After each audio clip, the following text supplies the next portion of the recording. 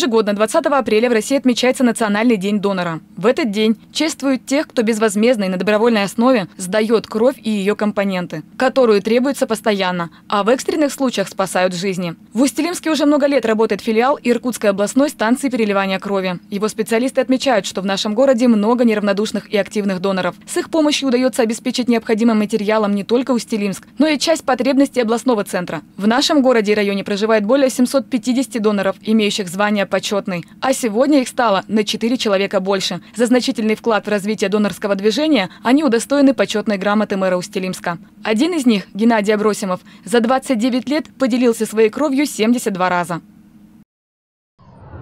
Новый компьютерный томограф стоимостью в 50 миллионов рублей поступил в Устилимскую городскую поликлинику номер 2. Сейчас, где разместят новый аппарат Philips, идет ремонт. Проводится обучение специалистов, которые будут на нем работать. Благодаря цифровому контуру снимки будут отправляться по интернету в Иркутск на дополнительную проверку. Таким образом, устилимцы смогут получить качественное обследование, не выезжая из города. Напомним, средства на приобретение аппарата КТ выделены из областного бюджета по инициативе депутатов Законодательного собрания. 11 апреля по проспекту Мира 29 в обеденное время отключили свет. Жители рассказывают, что увидев мужчину с фонариком на голове и кувалдой в руках, подумали, что идут ремонтные работы. Однако чуть позже услышали удары и визг животного, который заставил их содрогнуться. Незамедлительно они кинулись в подвал дома. Услышала вот визг собаки и удар, удар, сильный удар возле подъезда стояла соседка, мы с ней, она мне сразу сообщила о том, что, говорит, мужик забежал в подвал, и он, говорит, собачку убивает. И я зашла в, под, в подвал уже, когда привыкла, темноте увидела мужчину незнакомого, вот именно вот с этим вот и фонариком, и с кувалдой. Он э, что там метался, попросила его подойти ко мне, хотела его сфотографировать. Он увидел, что я его пытаюсь сфотографировать, и выскочил из подъезда, убежал из подвала. Я заглянула, прошла в подвал, заглянула, увидела вот эту собачку. Она лежала, не двигалась. Ну, а потом, когда мы уже с соседкой второй раз выходили из подвала, увидели мужчина подъехал а, к подъезду, вышел, пошел в нашу сторону, увидев нас, он, конечно, удивился, сказал, что у него там работник работает. Мужчина испугался, а увидел, что я его фиксирую на телефончик. Вообще повел себя агрессивно, попросила соседку вызвать полицию. После этого он уехал. Со слов жителей пострадавшей собаки было около 9 лет. Она давно жила в подвале второго подъезда, агрессивно не была, никого не кусала. И из жалости они регулярно ее подкармливали. На момент прибытия сотрудников полиции и волонтеров приюта для бездомных животных «Хатика» собака дышала и билась в конвульсиях. Данная собачка ну, лежала, вот в каком состоянии она была. А мы попытались ее поднять. У нас не получилось, потому что ей было больно. А в итоге, ну, мы общими силами подняли ее. И, ну, ее состояние было, ну, как бы, пред... ну, я не, не знаю, не могу я начинаю волноваться. Мы ее вынесли, она еще в тот момент дышала, дергалась. Что происходило? Ну, у нее были судороги, ее трясло, она, получается, выгнулась, она даже не выпрямляла голову, не опускала, не наклоняла.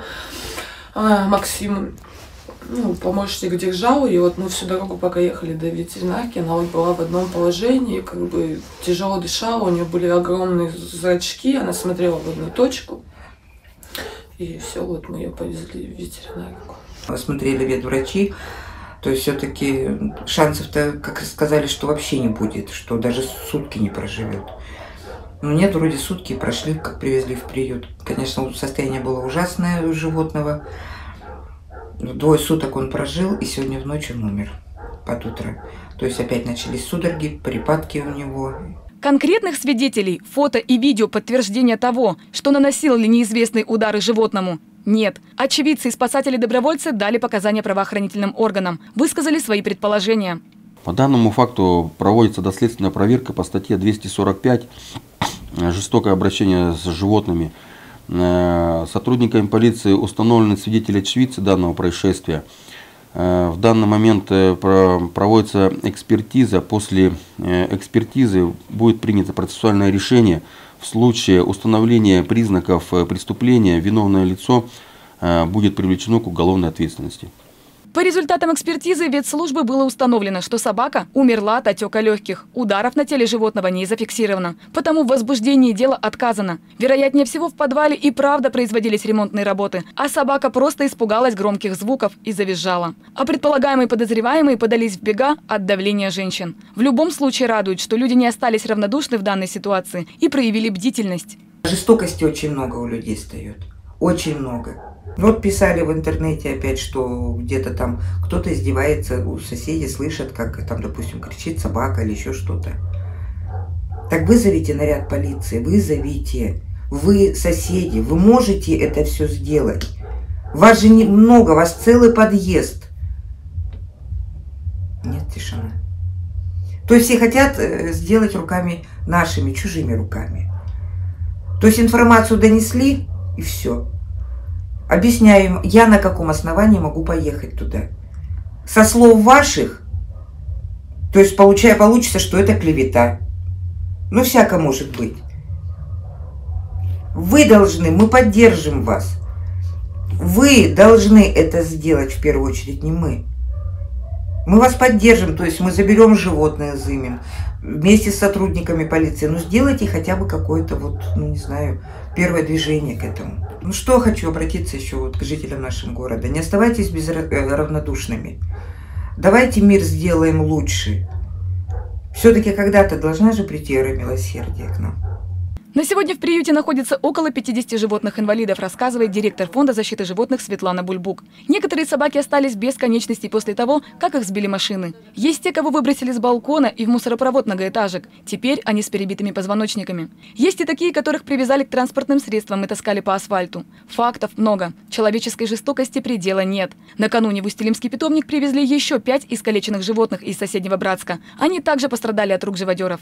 Амур, Титан, и Вера прозвали, потому что врач оперировала Вера Николаевна, ее так и прозвали, честно говоря.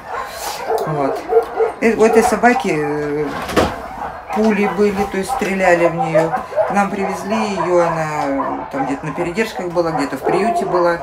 То есть э, справляться вот эти не смогли справиться. К нам обратился ветврач с Братска. Вот мы приняли его, лечим теперь. Эта собака также была сбита была на передержке приюте. То есть вопрос стоял такой, что уже собака несколько дней, где-то с неделю. В приюте она была, по-моему, два дня всего, котопес, или три дня.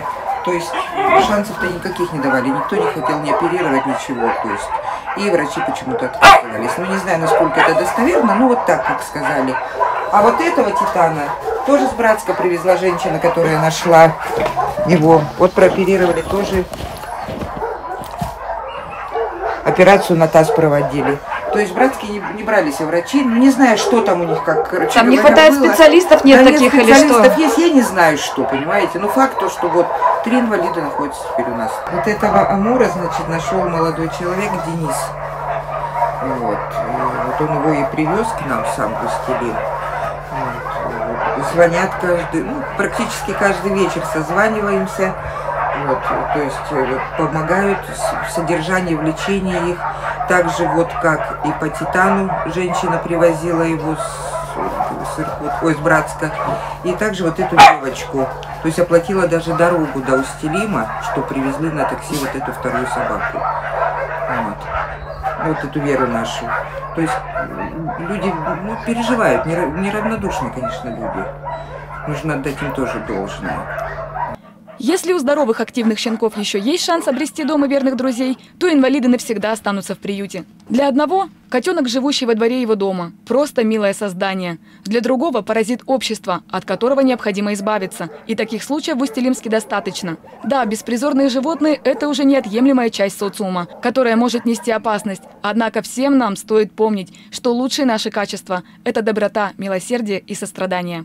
Это все-таки и наша, и ваша вина это безответственное отношение к животным, это безответственное как-то равнодушие, наверное. Вот я не знаю, как это сказать. Вот знаете, уже 10 лет будет приюту, и животных меньше не остается. Животных больше, и попадают животные с, тако, с такими вот травмами, То есть издевательство над животными, бездушие над животными, то есть проходят мимо, не знаю я. Так что, пожалуйста, пересмотрите свои отношения. Это же такие же живые существа, как и мы с вами.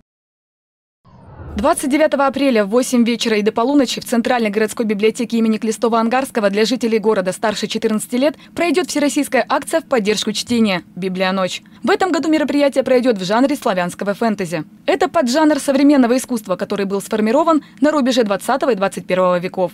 Гостей познакомят с первоистоками – русскими народными сказками, поэмой «Руслан и Людмила». Также жанр славянского фэнтези представлен на выставке в произведениях Марии Семеновой, Андрея Белянина, Галины Романовой, Елизаветы Дворецкой, в которых авторы рассказывают о мире с отважными войнами, чудовищами и волшебством. Стоит отметить, что Мария Семенова, написавшая роман «Волкодав», награждена титулом создательницы славянского фэнтези.